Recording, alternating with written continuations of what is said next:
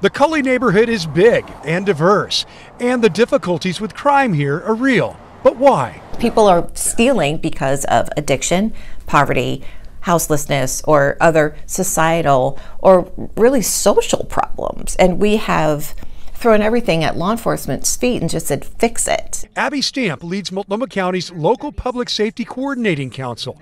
She says the Reimagining Justice program has two goals to increase trust and legitimacy of police and to increase non law enforcement responses to low level crimes. The program will rely on ideas from the community. The solutions are always going to come from the people closest to the problems. And I think what we as government can do, not so much get out of the way, but more affirmatively support. So I think that's our role here. Multnomah County Commissioner Susheela Jayapal worked to get the Federal Bureau of Justice Assistance Grant and says Cully earned it coming its way. I absolutely think there's been a foundation laid here, and that was one of the other reasons that we identified Cully as the place to start.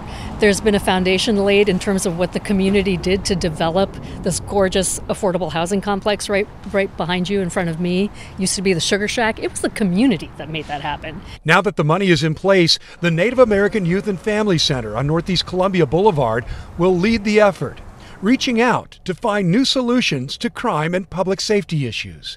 So we need to make sure that we set up a process that allows the community to really define what the solution is and that we just sort of set the stage with, you know, whether it's resources or partnerships to be able to uh, provide that uh, support.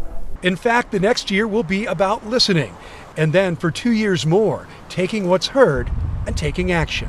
But I hope that we can really pay people for their participation and to thank them for sharing their wisdom and expertise as we try to build this out. Decrease reliance on law enforcement that has a lot of other really important work to do outside of low level crime and see what kind of innovation that we can start to grow. Now, obviously, this is the very beginning of a work in progress, so we'll see where it goes from here.